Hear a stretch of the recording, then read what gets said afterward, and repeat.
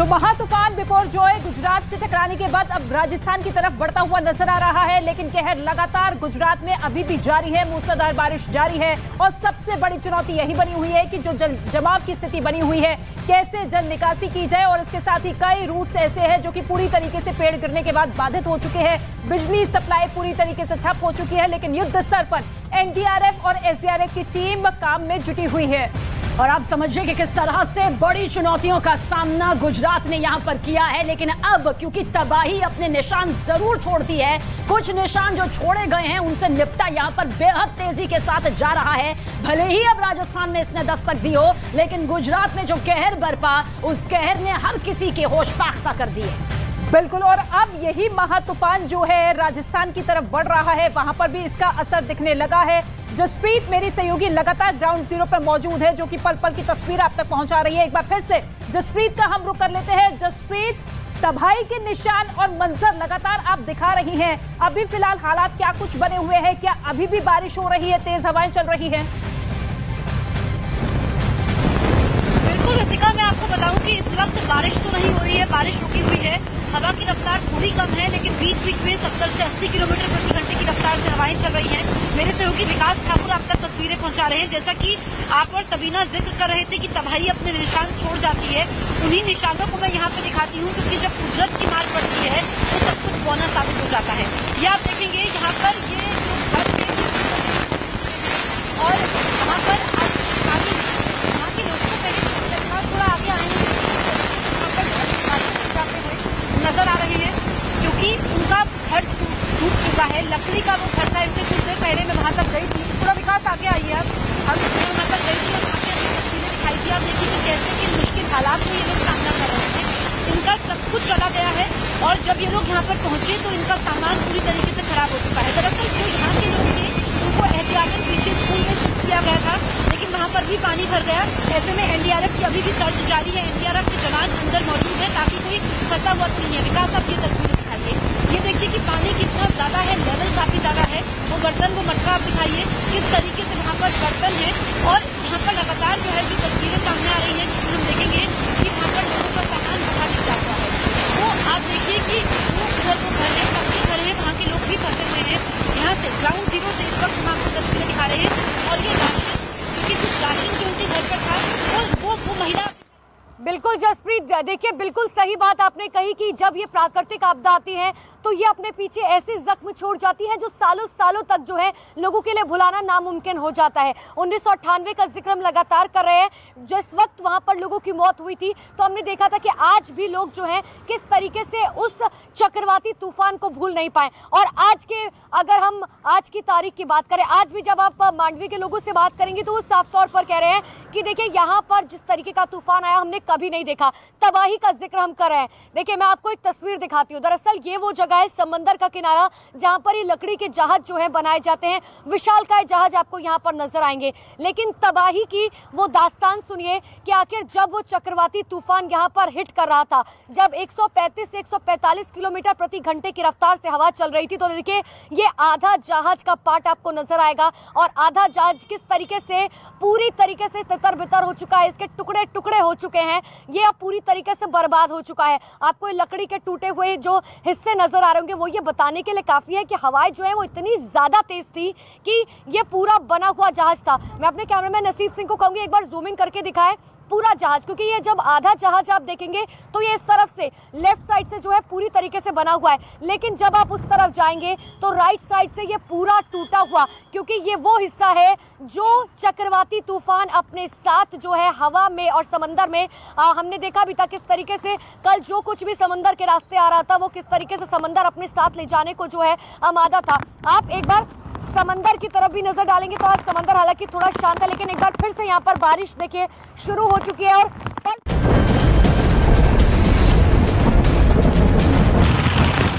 ज़मीन पर तबाही मचाने के लिए बिल्कुल आतुर है और ये तस्वीर हम आप तक पहुँचा रहे हैं, ग्राउंड ज़ीरो से हम आप तक। जब 100 किलोमीटर प्रति घंटा की रफ्तार से चल रही थी हवाएँ, जाबाज रिपोर्टर पहुँचा रहे थे।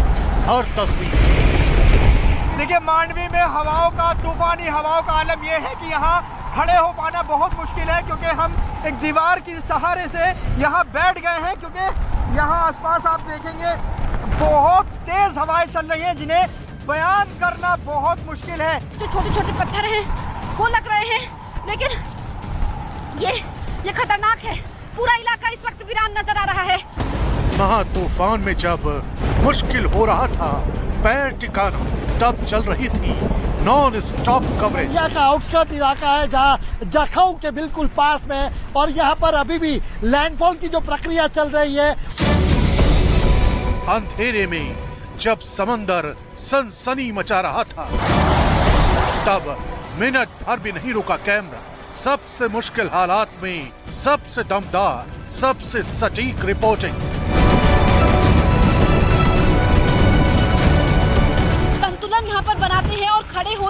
यहाँ पर मुश्किल हो रहा था लेकिन आप देखिए कि हवा की रफ्तार एक बार फिर से तेज हो गई है और भारी बारिश हो रही है। वॉर रूम से लेकर ग्राउंड ज़ीरो तक की हर खबर हर तस्वीर। इतना यहाँ पर ताकतवर हो रहा है यही वो तस्वीरें आपको यहाँ पर दिखा रहे हैं। आती है और सब कुछ जो है अपने साथ बहा ले जाती है और ये चलने वाला है।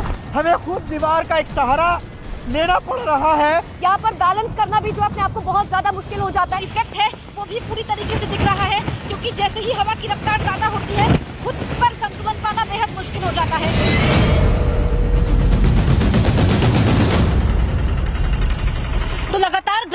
हम आप तक तस्वीरें पहुँचा रहे हैं। द्वारका का हाल मैं आपको बताऊँ कि अभी यहाँ पर काफ़ी हद तक स्थिति सामान्य होती हुई नज़र आ रही है, लेकिन पानी जिस तरीके से भरा हुआ है, क्योंकि जो ये निचले इलाके हैं, यहाँ पर आप देखेंगे कि लोगों के घर पूरी तरीके से डूब चुके हैं। विकास, आप दिखाइए कैसे वो जो महिला है, वो अपने घर से जो सामान है, जो सामान बचा हुआ है, चाहे वो आप देखिए कि टिन है, राशन का जो सामान है, जो भी सामान वो आगे ले जा पा रही है, उसको उन मुश्किल हालात में और जब यहाँ पर कमर तक पानी है, आगे बढ़ते हुए ये ले जा रही है। ऐसे ही हमने देखा, कई परिवारों को देखा जो वहाँ तक गए क्योंकि उनका सामान डूब चुका है। दरअसल एनडीआरएफ की टीम यहाँ पर पहुँची थी क्योंकि इन लोगों को इवैक्यूएट किया गया था और इनको एक सरकारी स्कूल में रखा गया था, लेकिन सरकारी स्कूल में भी पानी भर गया। अब इनको दूसरी जगह शिफ्ट किया गया है। इसी तरीके से ये तस्वीरें निकल करके सामने आई है और हमने देखा कि यहाँ पर तमाम जो लोग थे वो घर पर घर पर लौटे और जब लौटे तो वहाँ पर सामान ही नहीं था। यानी कि एक बार अपने घर की तरफ़ गए कि अगर कुछ बचा कुचा सामान है जिसको वो अपने रोज की ज़िंदगी में उसको इस्तेमाल कर पाए तो हो।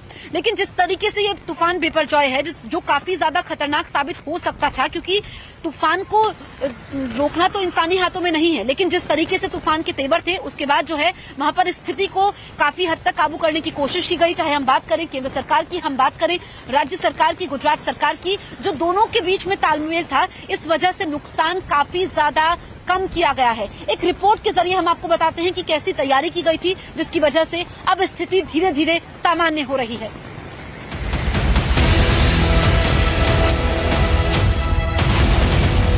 इतना बड़ा तूफ़ान, इतना खतरनाक साइक्लोन। कुदरत का ऐसा कहर जो दुनिया की किसी भी व्यवस्था के लिए चुनौती बन सकता है।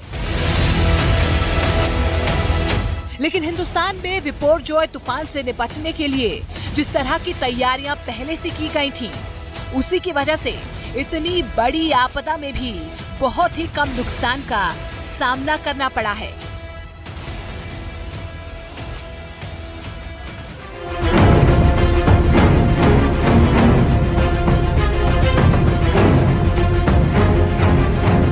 विपोरजॉय तूफ़ान जब गुजरात के तट से टकराया तो बहुत ही भयावह था। कच्चे मकानों को उखाड़ देने वाला था। और इसके लिए पहले ही अलर्ट जारी कर दिया गया था। ऐसे घरों को खाली करवा दिया गया था। लोगों को भी ऐसे प्रभावित इलाकों से निकालकर पहले ही सुरक्षित जगहों पर पहुँचा दिया गया था। इन तैयारियों की वजह से ही नुकसान बेहद कम हुआ। केंद्र सरकार और राज्य सरकार की सतर्कता और तूफ़ान के बीच में एनडीआरएफ, एसडीआरएफ, सेना बीएसएफ, कोस्ट गार्ड और स्थानीय प्रशासन ज़बरदस्त हौसला दिखाते हुए डटे हुए हैं।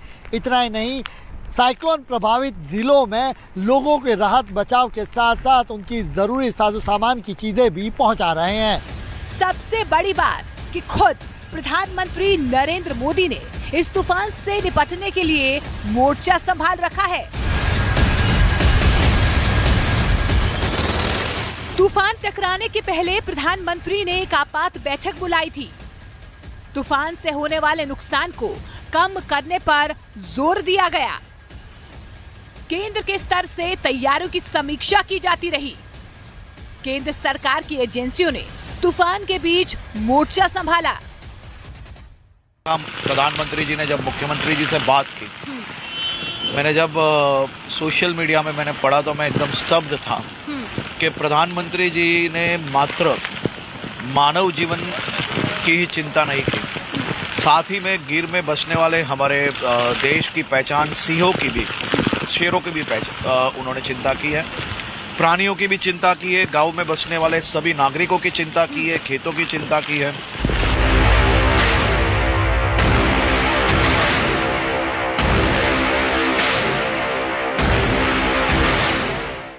प्रधानमंत्री नरेंद्र मोदी ने अपनी कैबिनेट के कई मंत्रियों को रिपोर्ट जो है तूफ़ान से निपटने की तैयारियों का जायजा लेने के लिए ग्राउंड ज़ीरो तक भेजा, जिसमें स्वास्थ्य मंत्री मनसुख मांडविया मत्स्य और पशुपालन मंत्री, पुरुषोत्तम रूपाला और रेल राज्य मंत्री दर्शना जरदोश शामिल हैं। पीएम मोदी गुजरात के मुख्यमंत्री भूपेंद्र पटेल से लगातार संपर्क में रहे। तूफ़ान से लड़ने की तैयारियाँ, तूफ़ान के वक्त होने वाले नुकसान, तूफ़ान के वक्त और तूफ़ान के बाद में तमाम जरूरतों की जानकारी लेते रहे। पीएम मोदी ने गुजरात के गिर के बब्बर शेरों की साथ साथ अन्य वन्य जीवों की सुरक्षा भी सुनिश्चित करने पर ज़ोर दिया।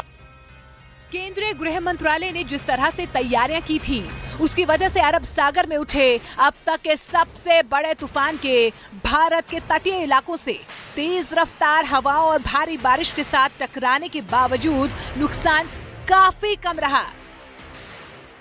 गृह मंत्री अमित शाह ने विपोर्जोय के मद्देनजर बैठक बुलाई।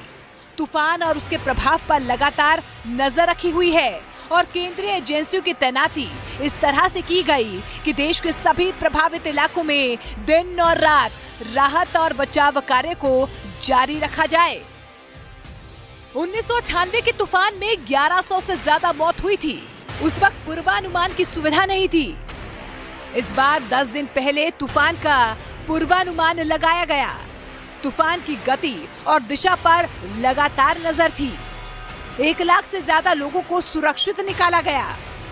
राहत कैंपों में खाने पीने की पूरी व्यवस्था की गई। आठ प्रभावित जिलों में 631 मेडिकल टीम तैनात है। ऑक्सीजन और दवाई का स्टॉक रखा गया है। 521 अस्पतालों में पावर बैकअप की व्यवस्था की गई। 504 एंबुलेंस लगातार अलर्ट पर हैं और फ्रंट लाइन पर हैं।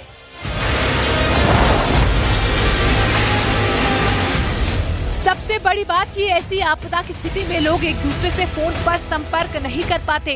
नेटवर्क की व्यवस्थाएँ अमूमन खत्म हो जाती हैं। लेकिन इस बार ऐसी व्यवस्था की गई कि भारी बारिश और तबाही वाले तूफ़ान के बीच भी नेटवर्क कनेक्शन काम करते रहे। मोबाइल नेटवर्क काम करते रहे। इसके लिए सरकार ने इंटरसेप्टर रोमिंग की सुविधा दी। यहाँ तक कि एक कदम आगे सोचते हुए अगर नेटवर्क टावर ध्वस्त होते हैं तो सैटेलाइट फ़ोन और वायरलेस नेटवर्क को भी तैयार रखा गया। नेटवर्क की ऐसी व्यवस्था की वजह से इमरजेंसी कार्यों में लगी एजेंसियाँ एक दूसरे से आसानी से संपर्क में बनी हुई हैं और साथ ही लोगों तक भी तेज़ी से राहत पहुंचाई जा रही है।